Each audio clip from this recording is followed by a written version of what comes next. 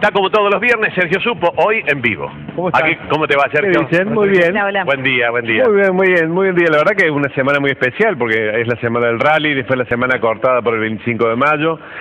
Ha sido una semana muy política en Córdoba porque los peronistas no terminan de presentar las listas. Y esto es importante porque es el partido que gobierna y un partido con muy serias posibilidades de retener el gobierno en la provincia de Córdoba. El lunes vencía el plazo, pero parece que el plazo se ha estirado por la falta del acuerdo. Durante el fin de semana se dijo que De la Sota tenía un acuerdo con Cristina, pero parece que Cristina se enojó con De la Sota porque no le puso a una mujer como vicegobernadora, a una mujer kirchnerista, Kirchnerista. como Cristina preveía o suponía que De la Sota le iba a colocar. Bueno, la cuestión es que hay una situación de tensión que no ha sido resuelta al extremo de que de un acuerdo anunciado durante meses, durante mucho tiempo, se llega ahora a la posibilidad de que el kirchnerismo arme una lista propia. Y esto no sería eh, inocuo para el resultado electoral, teniendo en cuenta que hay un antecedente inmediato.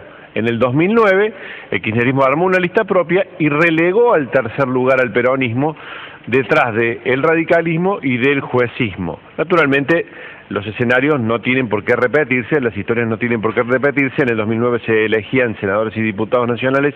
Ahora, el 7 de agosto, los cordobeses seremos convocados a elegir gobernador. Es una elección diferente, pero los votos del kirchnerismo fuera del apoyo a De la Sota pueden ser un dato político que todavía está dando vuelta, está picando, está ocurriendo en este momento.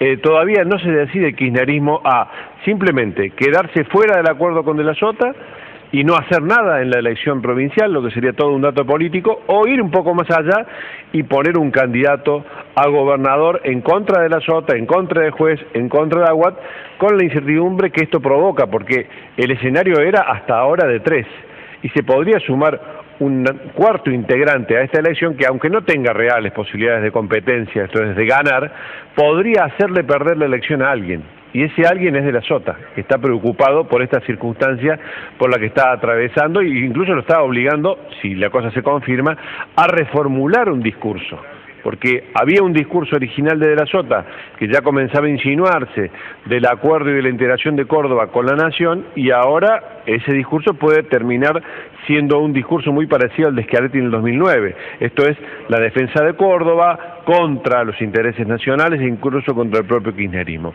Hay un escenario político muy caldeado del que en general la gente no toma ni participa exactamente, pero que influirá notablemente en todos los cordobeses, porque lo que se está discutiendo en este momento, no solo en esta cuestión, sino también el lanzamiento de la campaña de juez, el lanzamiento de la campaña de Aguat, es quién nos gobernará en los próximos cuatro años. Muchas gracias, Sergio. Tenés una, una charla hoy, ¿no? A las 6 de la tarde, sí, la Academia Nacional de Ciencias está haciendo durante todo el año un ciclo en homenaje al bicentenario del nacimiento de Domingo Faustino Ajá. Sarmiento. Y a las 6 de la tarde en Belezar Final 200, es ahí entre Caseros y Duarte Quirós, doy una charla sobre Sarmiento y la importancia que le dio él a la formación de los docentes. Eh, por suerte la Academia de Ciencias se ha acordado de Sarmiento, porque Sí, sí. el gobierno nacional, el día que se cumplieron los 200 años, que fue en marzo de este año del nacimiento de Sarmiento, nadie lo nombró, nadie lo mencionó. Parece que el padre de la educación De la educación. argentina hoy no tiene ninguna importancia. Muchas gracias, Sergio. Buen Gracias, fin, ¿eh? buen fin de semana para todos. Un gusto estar acá. Eh,